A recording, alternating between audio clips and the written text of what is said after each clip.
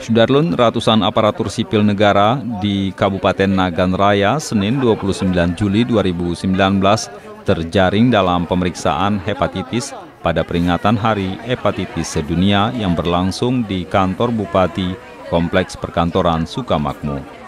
Usai pelaksanaan upacara langsung diumumkan agar untuk di-screening terhadap penyakit tersebut yang merupakan sebagai langkah untuk mencegah terjadinya penularan virus hepatitis B.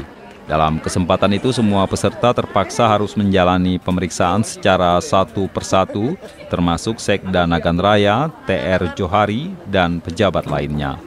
Jika dalam pemeriksaan ini ditemukan adanya ASN yang terjangkit virus hepatitis B, maka akan segera dilakukan penanganan dalam pengobatan. Agar bersih daripada penyakit hepatitis ini. Ini harapan kita. Karena begini, ini kalau kita lihat dari segi apa yang kita konsumsi menyangkut dengan makanan, ini pegawai kita ini yang namanya pegawai di negara ini yang banyak banyak kendurinya ini, ya. Yang namanya banyak kenduri pasti banyak makan. Yang namanya banyak makan pasti banyak makanan yang masuk kita. Ini harus kita pastikan beberapa penyakit, terutama sekali menyangkut dengan penyakit gula, ah, penyakit kolesterol, penyakit ah, apalagi hepatitis ah, dan sebagainya lah. Dari Sukamakmu, Saadul Bahri, Serambion TV.